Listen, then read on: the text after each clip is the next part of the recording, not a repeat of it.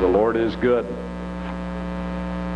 One of the great joys of being in the ministry for 45 years, I don't believe that myself, but it's true. I, am really not old. I, I'm just a young model with a lot of miles on me.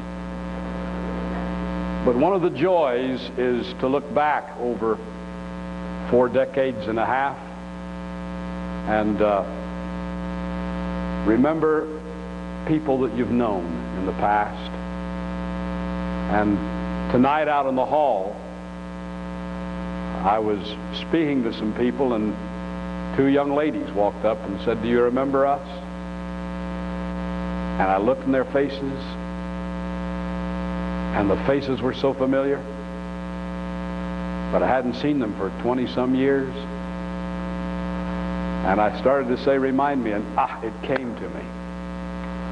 Those are the Loram sisters who were young people in Washington Park when I was pastor there. Uh, where are those young ladies? They're here tonight. There they are, back in the back. I'm so glad you're here. They are, uh, it's just a delight to see back 40 years and to know that those that you sought to minister to are still going in the Lord. And it just gets no better than that. The Varners, where are the Varners? There they are. My goodness.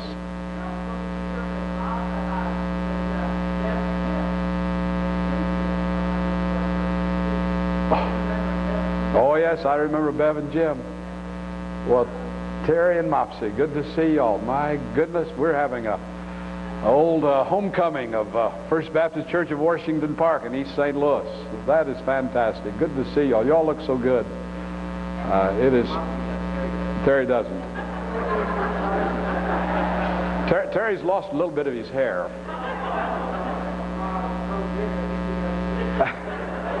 you can only see it when I turn around in the back. Uh, isn't, it, isn't it fantastic? Let me encourage some of you uh, younger preachers uh, keep on being faithful. Uh, we had a tremendous group of young people there, just fantastic, and uh, to see them go on and serve the Lord. I, I, I so much appreciate you all being here. Anybody else from my past? I mean, that that that, that will uh, say nice things and not, and not reveal any things. all right, uh, we had a couple here last night uh, in Fred and Kathy Smith. So this is great. And, and I'm so encouraged to see so many uh, young people here and uh, some, some from Hannibal LaGrange and Missouri Baptist. That, that's fantastic. Couldn't get better than this. Turn your Bibles to Romans 4. I didn't come here to uh, reminisce, but it is good to reminisce. It brings tears to your eyes to think about how good God was back in those days.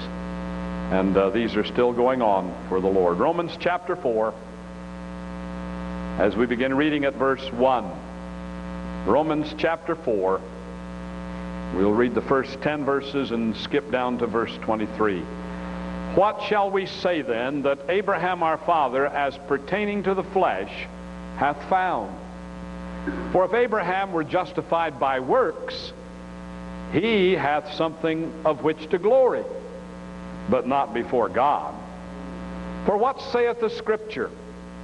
Abraham believed God, and it was counted unto him for righteousness. Now to him that worketh is the reward not reckoned of grace, but of debt. But to him that works not, but believes on him that justifies the ungodly, his faith is counted for righteousness. Even as David also describes the blessedness of the man unto whom God imputes righteousness, apart from works, saying, Blessed are they whose iniquities are forgiven and whose sins are covered. Blessed is the man to whom the Lord will not impute sin. Cometh this blessedness then upon the circumcision only, or upon the uncircumcision also? For we say that faith was reckoned to Abraham for righteousness. How was it then reckoned? When he was in circumcision or in uncircumcision? not in uncir- not in circumcision, but in uncircumcision. Then jump down to verse 23. Now it was written for not written for his sake alone, that it was imputed to him, but for us also, to whom it shall be imputed, if we believe on him that raised up Jesus our Lord from the dead, who was delivered for our offenses and was raised again for our justification. Let's bow our heads and hearts in prayer. Father, you are good, so good to such sinners as we are. Thank you for all that we have in the Lord Jesus. And thank you that we have moments like this together where we can fellowship around the Word of God, where we can sing praises to your name. We pray tonight that you will speak by the power of your Holy Spirit through the Word of God for your glory. And we leave the ministry of the Word in your hands tonight because we have no power to do anything at all except you speak and move. We commit this in Jesus' name. Amen. My subject tonight is justification by faith alone. Several years ago, I ran across a quiz on justification, which would determine whether a person held a Reformation view of justification or a Roman Catholic view. Now, let me give you that quiz tonight, just rather quickly.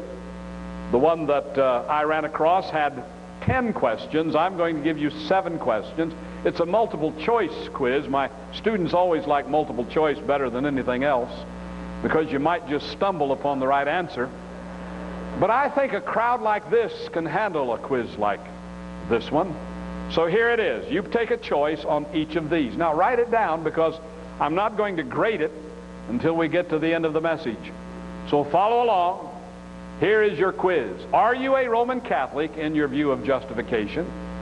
Or do you hold a biblical or what we call a Reformation view of justification as a doctrine? All right, here it is. God, A, justifies a man by mercifully accounting him innocent and virtuous on the basis of the work of Christ. Or B, God justifies a man on the basis that he actually makes him into an innocent and virtuous person. Now, this is a no repeat exam. So you'd better get it the first time. Number two, we are justified A, by faith alone, or B, by faith alone when it becomes active by love. Number three, now, don't anybody raise your hand and say, would you repeat that? Nope, can't repeat. Number three, A. If a man is born again, he will, because of that new birth, receive right standing with God. Or B, if a man receives right standing with God by faith, the new birth is present as well. Number four, we are justified, A, by having Christ live out his life of obedience in us or B, by accepting by faith that he obeyed the law of God perfectly for us. Number five, A, we are justified by faith by following Christ's example by the help of his enabling grace. Or B, we follow Christ's example because we have been justified by faith. Number six, a, God justifies us and then gives us His Spirit to make us godly. Or B, God sends His Spirit to make us godly, and then He declares that we are good and acceptable in His sight. And number seven, A, only by faith in the doing and dying of Christ can the claims of the Ten Commandments upon us be satisfied. Or B, by the power of the Holy Spirit living in us, we can fully satisfy the claims of the Ten Commandments against us. You know, I've used this simple exam. I'm going to say some things right now, and that's why we're not going to grade it, because you might get either elated so much that you will uh, not listen anymore, or so discouraged that you would shut me off. But I've used this simple exam in many places, and you would be surprised at the number of people who claim to be Reformed in their doctrine, Orthodox Christians, but yet, as they answer these questions, they're Roman Catholic in their view of justification. They are not biblical. They do not hold to the Reformation view of justification by faith. Try it sometimes. Maybe tomorrow we can make this little quiz available to you if you want to take it with you. I guess you've got a Xerox machine here or something like that that will do the job. But just, just ask people sometime. Define for me the doctrine of justification. And I've done it, and you would be surprised the answers you get. Oh, it's, it's to believe in Jesus. Or it's to experience Christ. Or, well, well, it's to be saved. That's justification. Or, or, or that's what saves you when you get justified. Or it really changes your life. Or to get a little more nebulous and experiential, it's the greatest experience that one can have. Or again, oh, that's what every Christian needs. Or, you really get fuzzy, it's beyond definition. You can only experience it. Or, still fuzzy, it's something that happened to me, but I can't define it. Or some have even said, it's the new birth. So my subject tonight is a much needed one. Martin Luther said, and someone referred to it, and I think he was right when he said it, that justification is the article which determines if the church is standing or falling. And if you'll begin to ask people to define justification, you will find, no doubt about it, the church is falling today. If John MacArthur is right when he says that every significant revival since the 16th century has been marked by a strong emphasis on this doctrine, if he's right when he says that, then we're not in revival and we're not even close to it. Because the doctrine of justification is simply not understood. Well, how shall we come to this doctrine tonight? I found sometimes in preaching and teaching it's best to deal with a, a doctrine by setting forth the primary errors concerning it. And in the process, you're able to point out more clearly the truth. So this is going to be our method tonight. I want to point out the primary errors today concerning the doctrine of justification. And I trust in the process we will come to see very clearly what justification really is. I'm going to speak first of all in my first point, and here's where I tell you where I'm going, and then when I get done, I'll tell you where I've been. Justification by faith is not infused grace, but it's imputed righteousness. Second, justification by faith will never separate justification from sanctification completely. And again, justification by faith not only properly distinguishes the two, but it properly relates the two. Now you say, I don't know where you're going yet. All right, then let's get going and we'll find out. First of all, justification by faith. Primary error number one, justification is not infused grace, but justification is the imputed righteousness of Jesus Christ to sinners who look to him by faith. Now, what is infused grace? What am I talking about? Well, the Roman Catholic view says that God infuses his grace into a man. And that gives the, the man the ability to cooperate with that grace of God. He cooperates with God. He performs good works. And as that man, by that infused grace, performs good works, then God receives or accepts such a man as he performs those good works.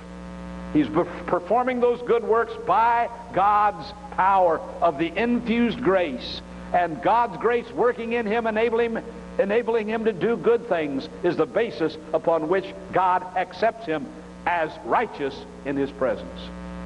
Infused grace, enabling a man to do good works, whereby God then accepts him on the basis of those good works. Now, what is imputed righteousness? Imputed righteousness is that God imputes the righteousness of Jesus Christ to the bankrupt sinner's account Not on the basis of any works the sinner does, but on the basis of faith alone in the work of Jesus Christ. Now the question is, which one is scriptural? Romans chapter 4, if you'll come back to that section of Scripture with me. And it begins with that very question, how was Abraham justified? Or how was it that God accepted Abraham as a righteous man? How is it that Abraham was able to have fellowship with God? He was a sinner. How could a sinner have fellowship with God? On what basis? If Abraham was justified by works, he has a right to boast, but not toward God. In other words, if it's by works that a man is justified, then Abraham can boast, but he doesn't boast of the grace or the glory of God. He boasts of his own power and his own ability to please God. So if Abraham was justified by works, he's got a right to boast over how good he is. Because he's done enough good works for God to accept him. Verse 3. But what does the scripture say? The scripture says Abraham believed God. Abraham had faith in God, and that faith was reckoned to him for righteousness. Now, the word reckoned here means that his faith was credited to his sinful account for righteousness.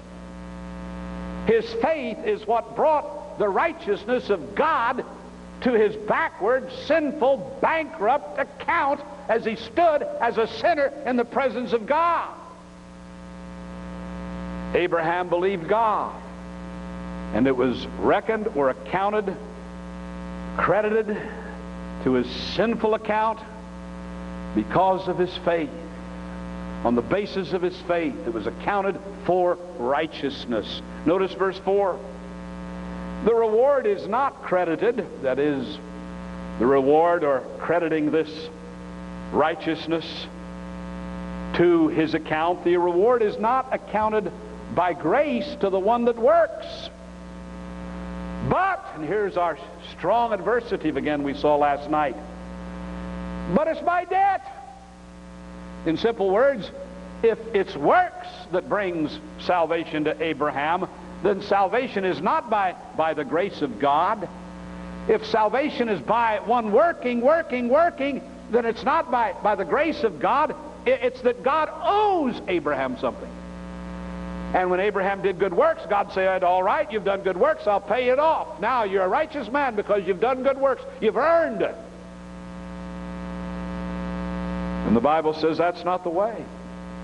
Verse 5 but to the one working not, but who believes on the one justifying the ungodly, the faith of him is reckoned for righteousness. It's grace, not works, but it's grace whereby a man believes.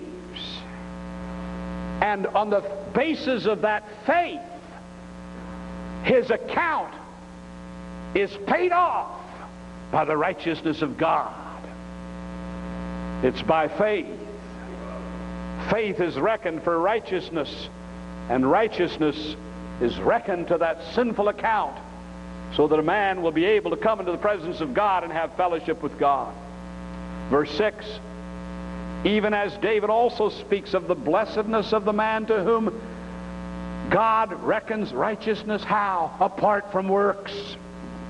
God's reckoning a man to be righteous is not based upon his works, but God reckoning a man to be righteous is based upon faith, and faith alone.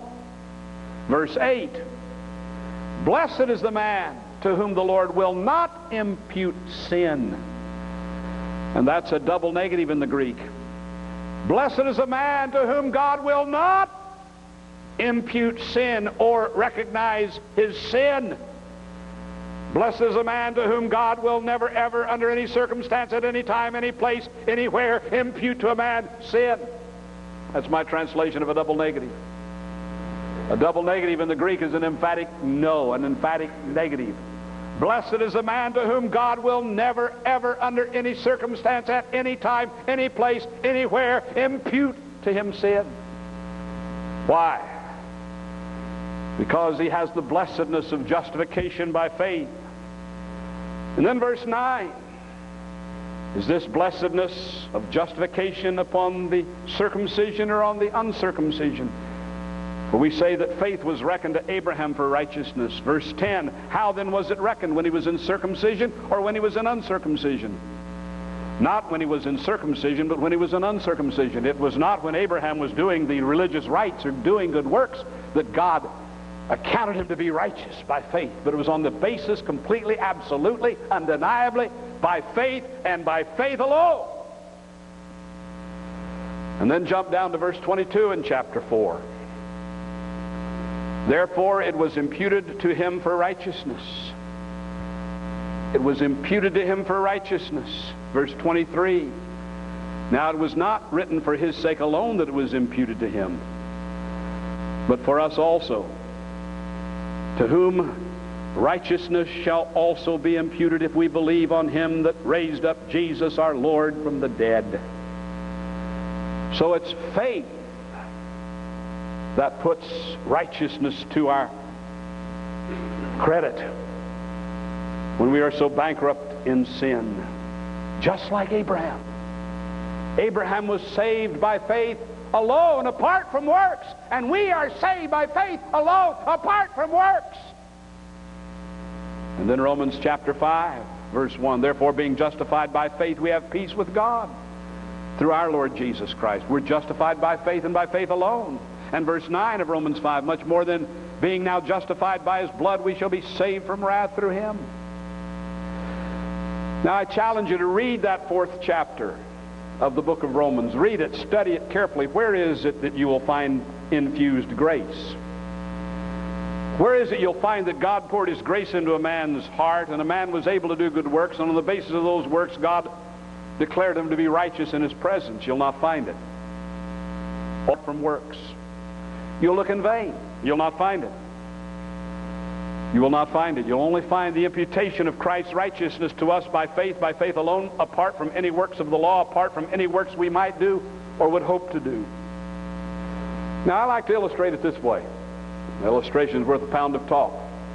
And I said last night, illustrations are good when you're illustrating on the basis of Scripture. Suppose I had a debt down at the bank of $10 billion. We just as well make it big. I couldn't say a million, but you know, I couldn't even anymore pay a billion than 10, a million than 10 billion. Suppose I had down at the bank a debt of $10 billion. I couldn't pay it. But suppose someone else went down there and paid my debt of $10 billion. Would the bank still hold me accountable for that debt? No. Did I do anything to work so that debt would be paid? No. Someone simply because they loved me. I've never found anybody yet that loves me worth $10 billion or even a million. If somebody loved me that much and gave it to me, I'd probably give it to missions. But it's not it's not anything that I have done. In fact, I didn't even know it was being done. In this instance, but somebody paid the debt. And the bank now writes that debt paid in full.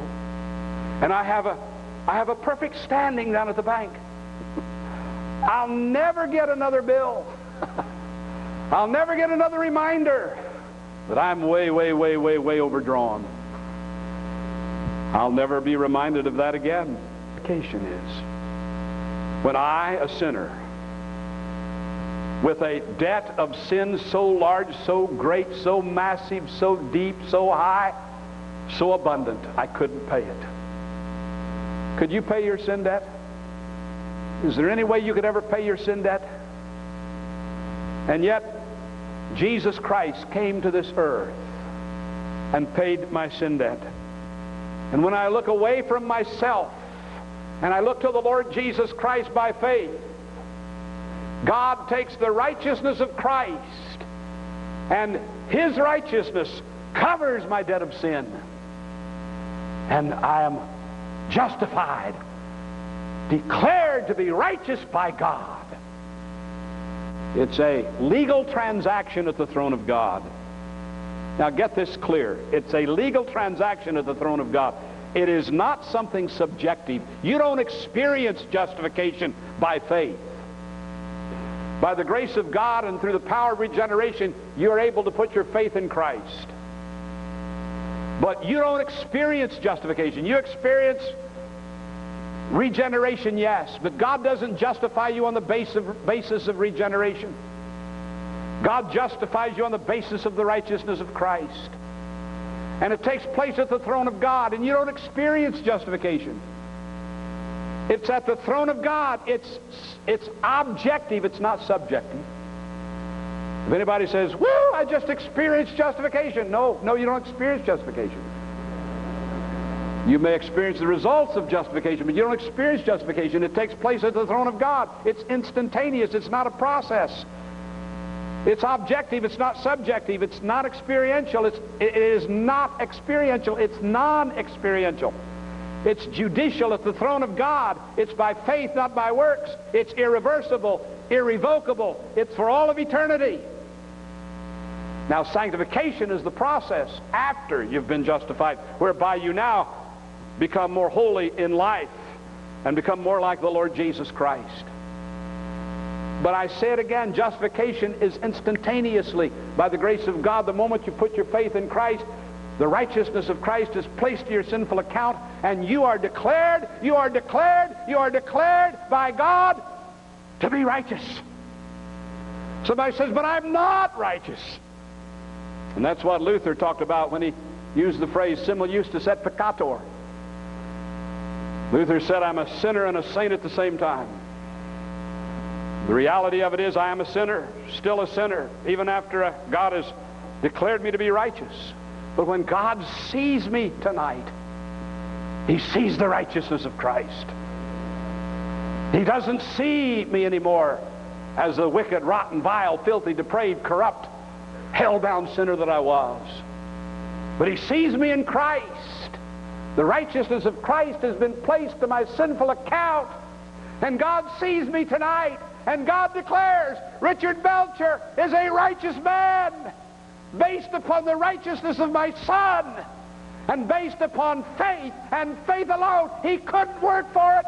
He couldn't earn it. He couldn't gain it for himself It came when he simply looked away from himself, the sinner, and cast himself by faith on Christ's righteousness. And Christ's righteousness has been placed to his sinful account. And now I look down at Richard Belcher and I declare him to be a righteous man. That's justification. That's justification. It's not experiential. You don't jump up and down, hoop and holler when you get justified. Now, you might jump up and down, hoop and holler when you realize you are justified. The sins are gone. Not infused grace, but the imputed righteousness of Christ. An instantaneous process. Not subjective, but objective at the throne of God. It's non-experiential. It's by faith alone, apart from works. But second, primary error number two, we must never synthesize justification and sanctification. The error number two is to take justification and sanctification and bring them together and see them as one rather than to keep them separate. We must not synthesize them. We must keep them separate. Now, the Bible does teach sanctification. You can't deny that. Romans chapter 8 talks about walking in the Spirit, mortifying the deeds of the flesh. That's part of growth and sanctification. The Bible speaks rather clearly about the fact that we as newborn babes are to desire the pure milk of the Word. That's if you're a newborn babe and you can grow, then the growth is sanctification. I'll not take time to prove that to you. There, there, there an abundance of verses. Even Paul prayed that The Philippians may grow in their love. That's sanctification.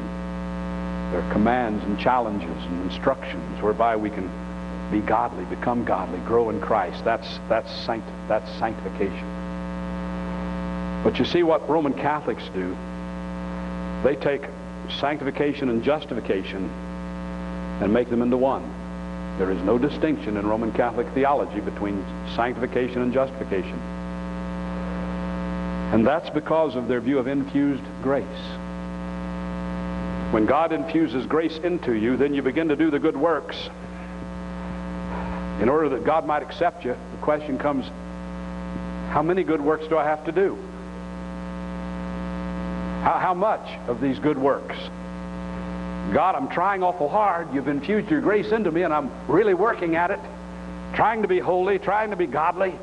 But, but, but how long, how much, how many of good works do I do before I'm, I'm, I'm accepted and declared to be righteous before you? Wasn't that Martin Luther's problem? He longed to be accepted of God. He longed to be holy in the presence of God.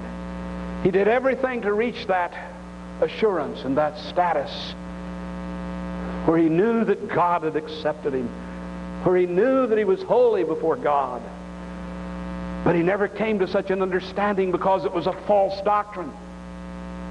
He was operating under the Roman Catholic doctrine. God has infused his grace into me, and so I work and work and work and work and work and work. But even then, the Roman Catholic doctrine said you had to keep on working. And you might even die and never know. And you might even have to go somewhere else and, and somehow work out your salvation through some suffering. There was no assurance because they welded justification and sanctification. They didn't see that justification took place on the basis of faith and faith alone. And sanctification would follow. They simply put them together and infused grace. You work for it, and then God would declare you righteous. But I doubt if you could have, could have found a man in Martin Luther's day who would, was able to say, I've done enough, and I know I'm justified in the presence of God. And is this not why the doctrine of justification by faith alone apart from works was so glorious to Luther? It was truth that caused him to see the futility of his works. It was truth that pointed him to faith in Christ alone. It was this truth that revolutionized his life and his work. It was this truth that finally brought true joy and peace to his heart. It was this truth that armed him to assail the falsehood of the theology of his day. It was the truth of justification by faith and by faith alone. And yet, can you imagine that some people today want us to recognize the Roman Catholic doctrine has equal with ours? no different from the biblical doctrine we preach. They hold a, a, a, an acceptable view of justification. Some want us to forget the years of battle, the battle for truth, and somehow sell out to the falsehood of infused grace rather than imputed righteousness. Some want us to forget the creeds and the documents of the Roman Catholic Church, which have never been revoked, which can never be revoked, which set forth without doubt infused grace salvation by the works of man. Creeds and documents which set forth and continue to set forth the fact that we who believe in justification by faith and by faith alone are anathema, doomed to an eternal damnation. Some want us to stop seeking to evangelize Roman Catholics. They have faith, we're told. There are so many others who are clearly lost. Go to them. Don't talk to Roman Catholics It's time to bury the hatchet with the Roman Catholic Church. Well, I never had a hatchet for Roman Catholics. All I've got for any man is the gospel. And I can't say Roman Catholics or anybody else isn't saved. But the Bible is the one that does the judging. And I'm not judging anyone. I'm simply preaching the gospel. And I don't care whether it's Baptists or Roman Catholics or charismatics or whoever else it might be, if they do not believe in the doctrine of justification by faith alone apart from works, then they must be judged by the Scripture as being wrong. The book, that's what will judge us. And it's my duty to seek to evangelize everyone and anyone. I'll give the gospel to Baptists, Presbyterians, Methodists, Independents, Pentecostals, Roman Catholics. What am I supposed to do before I witness? Uh, are you a Baptist? Yes. Oh, well, I can't witness to you. You're, you're a Baptist. Well, are you a Presbyterian? Yes. Yes, I'm a. Well, I can't witness to you. You're a Presbyterian. Or, or, or are you a Roman Catholic? Yes. Well, I can't witness to you. You're a Roman Catholic. Suppose I'm witnessing and the person evidences a work salvation mentality and I'm ready to give them the gospel and they say, well, I'm, I'm, a, I'm a Baptist. Well, I can't witness to you. You're a Baptist. Well, they say, I'm a Roman Catholic. I can't witness to you. You're a Roman Catholic. Would it offend me if a Roman Catholic tried to witness to me? No, because we'd talk about the gospel. Wouldn't offend me. Or would it offend me if a Roman Catholic would witness to one of my church members? No, it wouldn't, wouldn't offend me.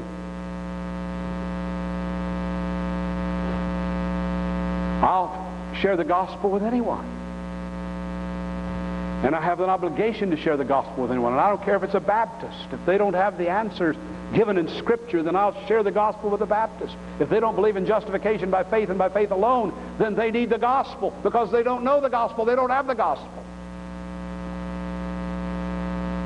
The only reason there is some fear of witnessing to Roman Catholics is because there is a difference between our doctrines.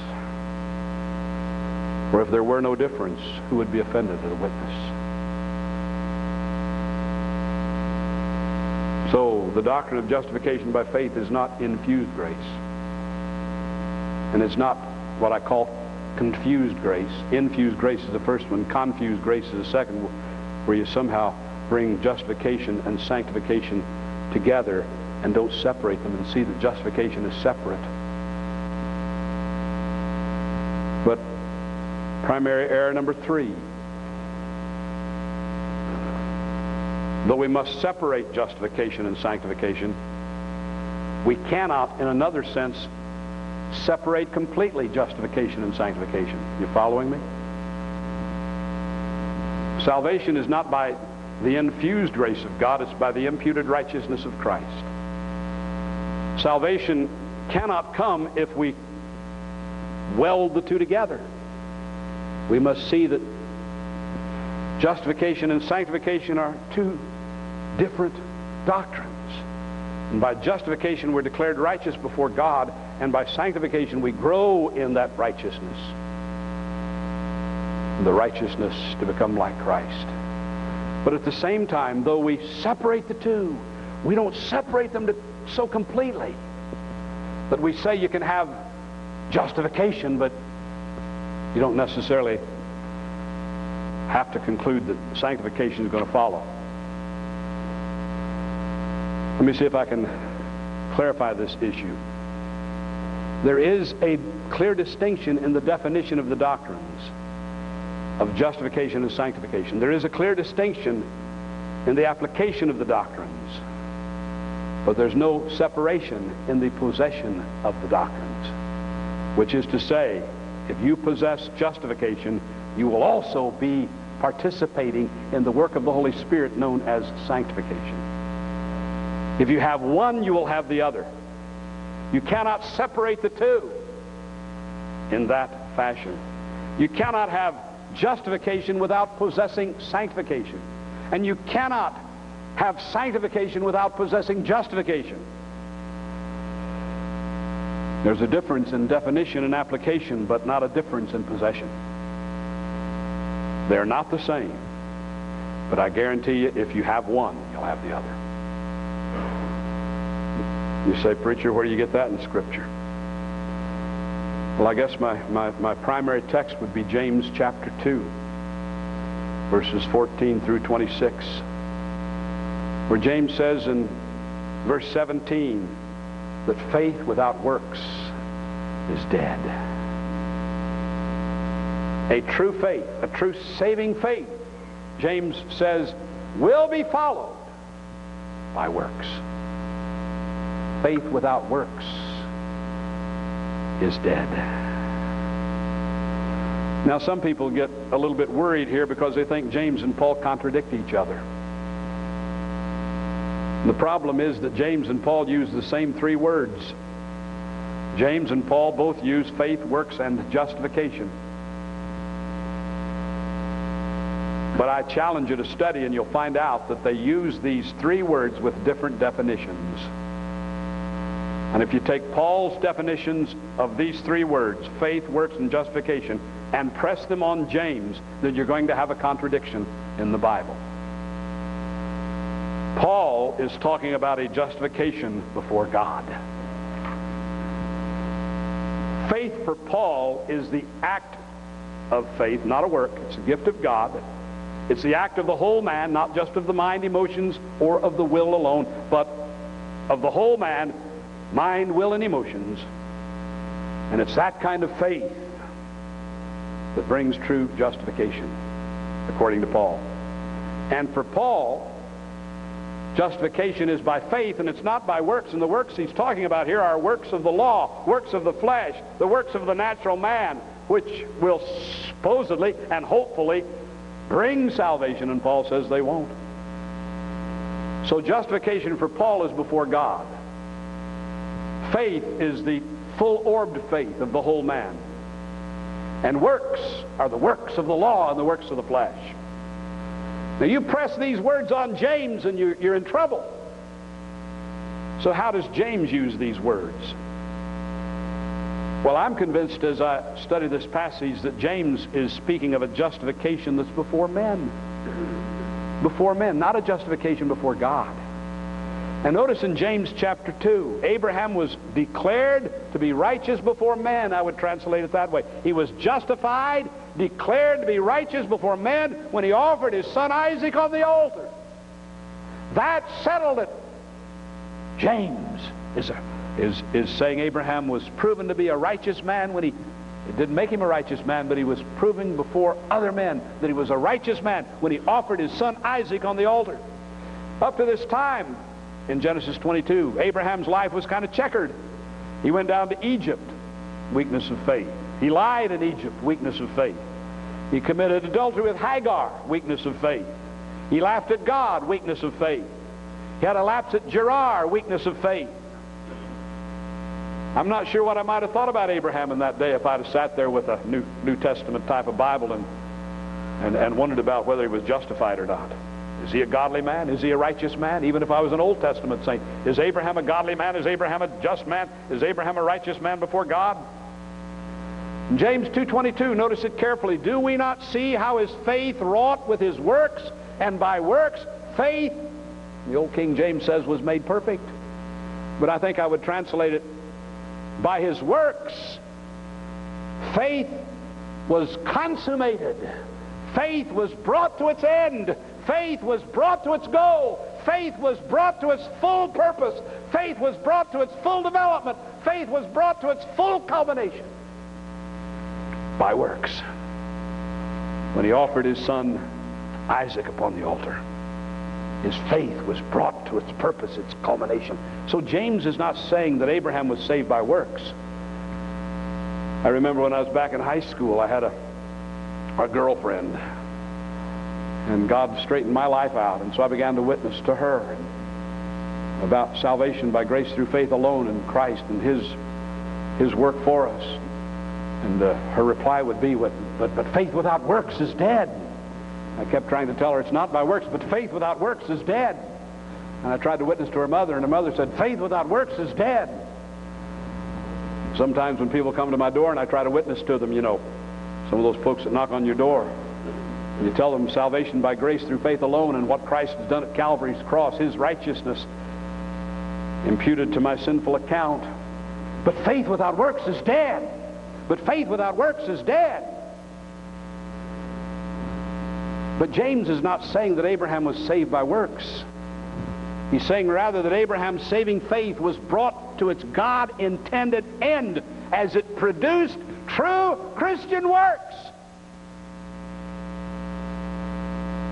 Thus, God does not save us just to save us, but God has an intent, and the final intent is that we would practice godliness, righteousness.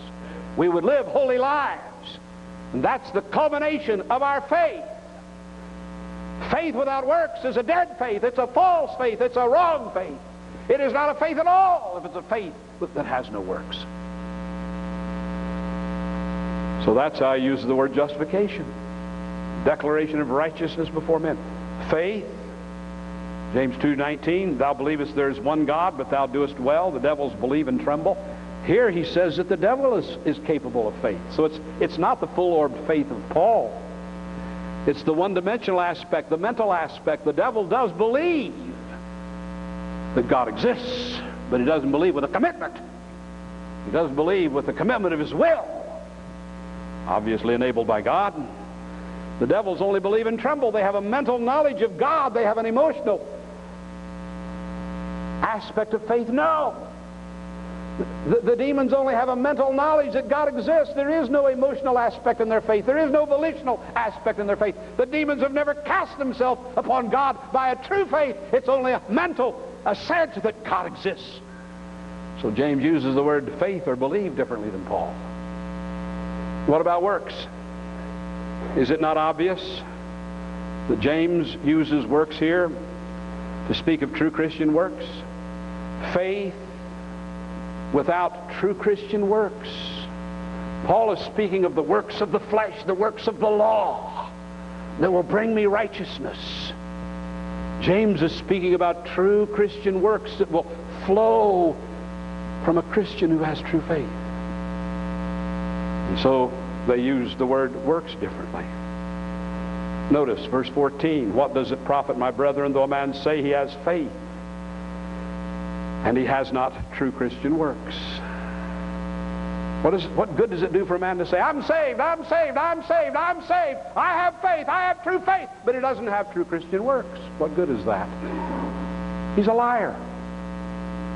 Or you can just go down the line there and read in James and just put the word in. Notice verse 17. Even so, faith, if it has not true Christian works, is dead, being alone. I would translate that word works there every place, true Christian works, because that's what he's. A faith, a proclamation of faith, if it doesn't have true Christian works, is dead. It's not a true faith. A true faith will be followed by sanctification. A true justification will be followed by sanctification. Verse 18, Yea, a man may say, You have faith, and I have works. Show me thy faith without thy works, and I'll show you, I'll show you my faith by my true Christian works. Or again, verse 20. But wilt thou know, O vain man, that faith without true Christian works is dead? Verse 21. Was not Abraham our father justified by true Christian works? Declared to be righteous before the whole world by his true Christian works when he offered Isaac his son upon the altar? Verse 22, Seest thou how faith wrought with his true Christian works? And by his true Christian works, his faith was brought to its full and its complete culmination and purpose that God had ordained it to produce. Verse 24, You see then that by works, true Christian works, a man is declared to be righteous before men and not just by some profession of faith only. Now, if you do anything else, verse 25 does the same. If you do anything else with that, you got problems. So, so notice, justification. Paul speaks of justification or declaration of righteousness before God. James speaks of declaration of righteousness before men. Faith. Paul speaks of the full-orbed biblical faith, saving faith. James speaks of a mental faith, which falls short. And works. Paul speaks of the works of the flesh. James speaks of the works of a true faith, true Christian works that flow from true salvation or true justification by faith alone.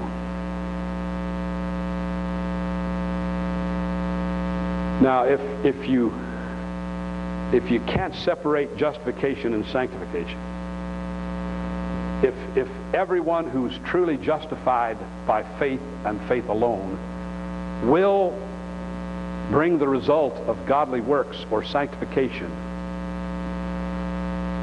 we as Southern Baptists are in trouble. We're in trouble. Our greatest problem is our large membership with few attending and few giving and few interested but many inactive, many non-resident, some dead physically but still members.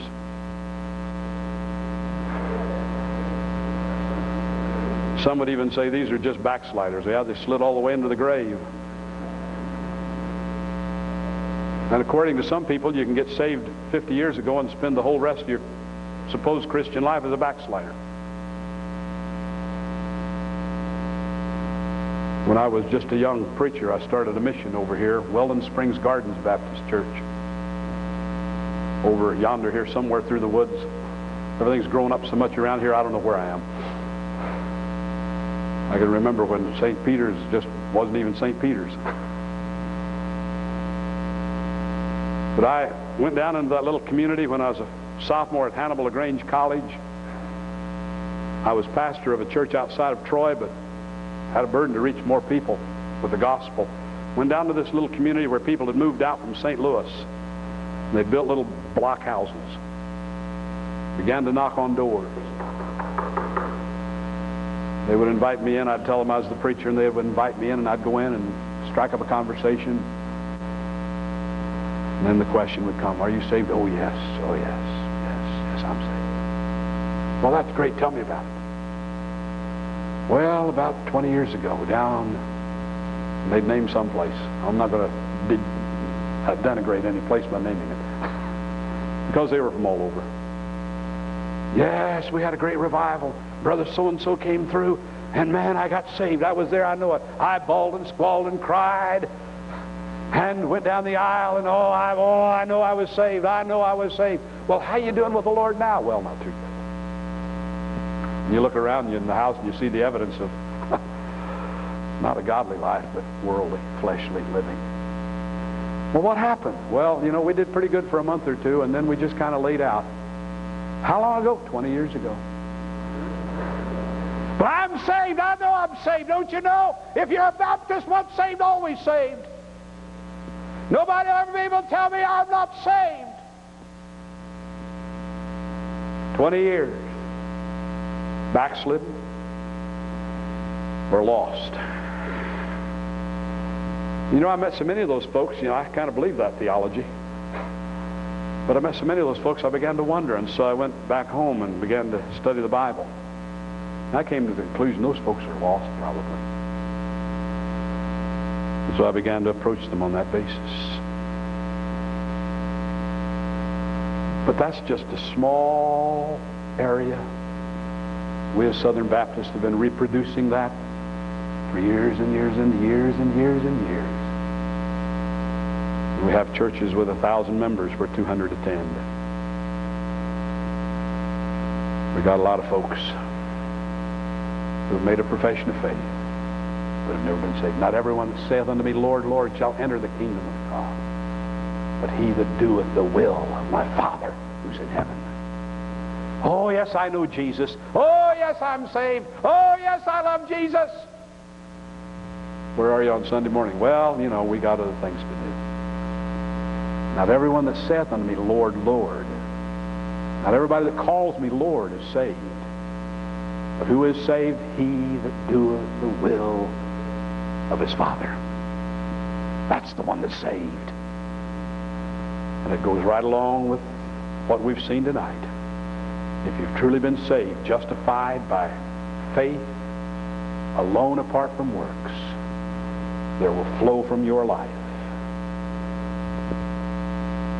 a godly work of God that's called sanctification. Now that doesn't mean you're perfect. Oh, sanctification can be a struggle. And I look back on my 45 years of ministry I got straightened out with the Lord when I was a senior in high school. I look back on all those years, and there have been some struggles, and there have been some battles, and there have been some battles I lost. But I never could get away from the Lord. He would always bring me back. Because if you've been justified by faith alone apart from works, there will come that godly work, that process. Justification is an instantaneous act of God where he declares you to be righteous. Sanctification is that process where God makes you into a godly person. And he doesn't receive you on the basis of your sanctification, but he receives you and declares you to be righteous on the basis of Christ's righteousness, which comes by faith and by faith alone. So it's not infused grace. It's the imputed righteousness of Christ. You can't put these two together. If you put these two together, then you're going to have infused grace and confusion. But you can't separate them so much that you say one can have justification and sanctification is optional. Those, I think, are the three greatest errors that you will find concerning the doctrine of justification. Those three errors. Now, let me come back to the quiz as I close. Number one, God justifies a man by mercifully accounting him innocent and virtuous on the basis of the work of Christ. Amen. B. who? God justifies a man on the basis that he actually makes him into an innocent and virtuous person. See, that one is saying infused grace makes me innocent and virtuous, and therefore God receives me. Each one of these is sort of an infused grace idea versus the imputed righteousness of Christ. So A is right. B, we're justified by faith alone. Amen. B is wrong. We're justified by faith alone when it becomes active by love. That's fusing justification and, and sanctification. So again, A is correct. Three, if a man is born again, he will, because of that new birth, receive right standing with God. Now, just to trick you here, I put the right answer B. Good teacher does that. This one is saying that the new birth, regeneration, is the ground of our justification, and that's false. If a man is born again, he will, because of that new birth, because of the new birth, receive right standing with God. No, it's not because of the new birth. It's on the basis of faith and the work of Christ, not on the basis of the fact I've been born again. B is correct. If a man receives right standing with God by faith, the new birth will be present as well. Four, we are justified, A, by having Christ live out his life of obedience in us. That's infused grace. We're justified by Christ living out his life of obedience through us. And then God accepts us on the fact that we live it out, Christ lives it out. That's infused grace. B is right. We're justified by accepting by faith that he obeyed the law of God perfectly for us. Number five, A. We're justified by faith by following Christ's example by the help of his enabling grace. I'll read it again. We are justified by faith by following Christ's example by the help of his enabling grace. We're justified by faith as we Follow Christ's example. That again is works. Infused righteousness. Or B is correct. We follow Christ's example because we've been justified by faith. Six, God justifies us and then gives us His Spirit to make us godly. That's correct. By faith, God justifies us, and His Spirit is given to us and the Spirit of God works this work of sanctification whereby we grow and become a righteous, godly person. B is wrong. God sends His Spirit to make us godly and then declares that we are good and acceptable in His sight.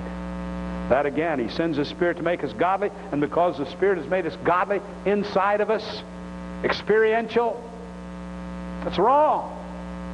Because Justification is at the throne of God by faith in Christ's righteousness alone, not in anything God does for, anything God does in me, or anything I do for God. It's based completely by faith in the righteousness of Jesus Christ and his work at Calvary. And again, it is an instantaneous act. It is at the throne of God. It is objective. It is not subjective. It is not experiential. But it's by faith and faith alone in what Christ did. And seven, only by faith in the doing and dying of Christ can the claims of the Ten Commandments upon us be satisfied. That is correct. Only by his doing and his dying can the claims of the Ten Commandments be satisfied. B is wrong. By the power of the Holy Spirit living in us, we can fully satisfy the claims of the Ten Commandments. No! That's saying you can reach perfection. But even if you do reach perfection, what about all the sin that's behind? Again, it's infused grace instead of justified by faith alone, apart from works. Any works I can do or any works God would do in me, justified by faith in Christ and what he did at Calvary. And God puts the righteousness of Christ to my sinful account. That is the biblical doctrine. Today, during the question period, someone asked, asked the question, what about the modern movements today? How do we deal with these modern movements? Warning our people against them. And why is it that, that people are enamored with so many of these modern movements, and the questioner named several of them. I'll not name them. But so many modern movements that have some weak doctrine. And so many of these modern movements are weak when it comes to justification. I, challenge you sometime to go to a religious gathering. I don't care what religious gathering it is. Go to a religious gathering, a Christian religious gathering, an Orthodox evangelical Christian gathering and ask people, stand out in the hallway with a microphone and a tape recorder and ask them, tell me what justification is. And I don't care how loud they have sung or how much they claim to love Jesus. The average Christian gathering, you will not get a clear understanding of justification by faith alone. And the question was, what do we do about these? Well, you know, I'm convinced that people will continue to be enamored with falsehood until they know the truth. And let me illustrate that. And I close. When I was a sophomore at Clayton High School,